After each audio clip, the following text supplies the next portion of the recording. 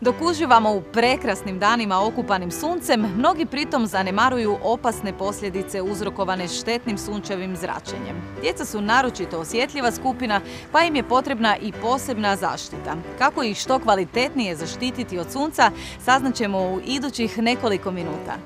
Djeca su posebno osjetljiva na sunčevo zračenje zato što im se pigmentne stanice nisu u cijelosti razvile, to jest ne funkcioniraju dovoljno jako kako bi trebale kao kod odraslih osoba. Najbolje je primjer što su bebe kod crnaca nisu potpuno crna, nego su znatno svjetlije puti, jer se nisu razvile te pigmentne stanice da je proizvode uobičajenu količinu pigmenta te su zbog toga mala djeca i bebe pogotovo osjetljive na sunčeve zrake i slavne opekotinama. Najvažnije izlaganje e, suncu do 18. godine se smatra zapravo da do 18. godine života 80% kože se uništi, a 20% tokom života, što ne znači da se ne smije paziti nakon 18.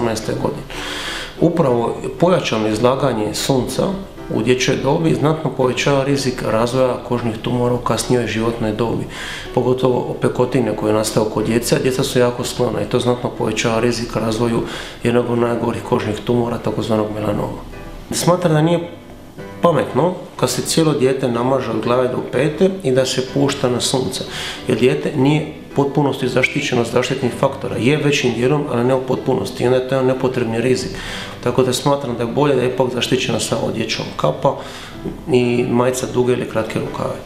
Potrebno je tražiti zaštitne faktore koje imamo po mogućnosti šta veći zaštitni faktor, po mogućnosti preko 25, da je podjednako, to je što jači izražen zaštitni faktor kako za UVA, tako i za UVB zrake, dao bi prednost onim zaštitnim faktorima koji imaju u sebi antioksidanse koje dodatno štite kožu i isto tako je jako bitno da su mineralnog porijekla, da sadrže prvenstveno na cink jer su to faktori koji su najmanje reaktivni upravo za pojačane apsorpcije stvari kroz dječju kožu koja nije u potpunosti razvijena, tako da ako se i upije da bude što eventualno manja šteta.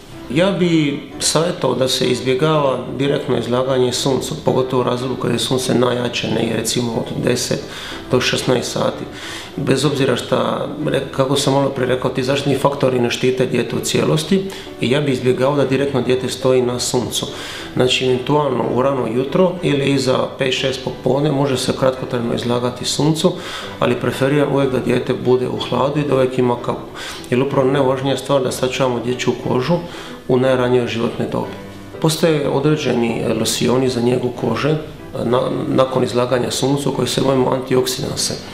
Oni se mogu stavljati ako su blaže opekotine tipa crvenila, ako dolazi do jačih opekotina tipa ljuštenja kože ili eventualno mjehuri, onda ne je bilo loše potražiti pomoć dermatologa.